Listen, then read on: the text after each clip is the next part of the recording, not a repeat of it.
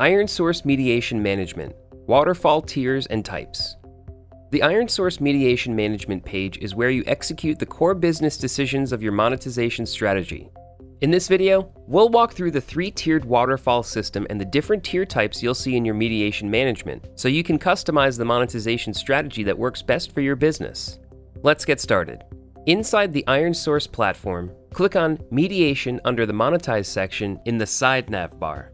This will take you to the Mediation Management page. You'll see here on the right that there are three different waterfall tiers and a section for in-app bidding. The bidding section at the top of the page provides insights into the performance of your bidding sources. The bidders operate in parallel to your waterfall and don't require any manual optimization, since each bidding source has the opportunity to compete for every impression. Beneath the bidding section, the three waterfall tiers are arranged by hierarchy and deliver their ads accordingly. You can use one tier, two tiers, or all three tiers to organize your waterfall. To select the tier type, click on the drop-down menu next to each tier. There are three types of tiers you can use to define how your waterfall is sorted. Sort by CPM, Manual, and Optimized.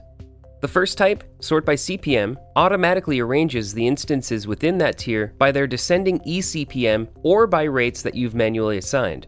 In most cases, we recommend using Sort by CPM as the primary waterfall type to ensure that your highest paying networks and instances are always served first, this fully automated sorting type also requires the least amount of manual work.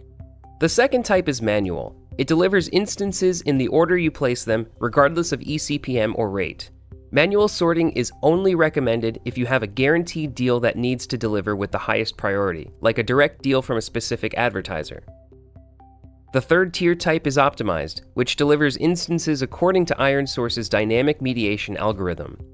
Maintaining an optimized section is optional, but it's useful as a backfill solution to pick up remnant impressions that aren't filled by your primary sort by CPM waterfall.